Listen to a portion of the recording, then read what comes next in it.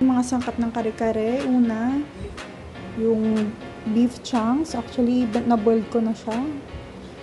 Yung talong, pechay, and yung puso ng saging.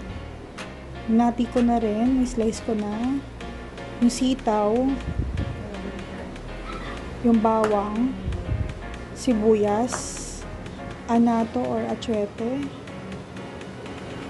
um, ground pepper, at huwag kakalimutan yung peanut butter. Hindi ko lang nilagay yung asin pero may asin po yan. So, ayan po yung mga sangkap ng kare-kare.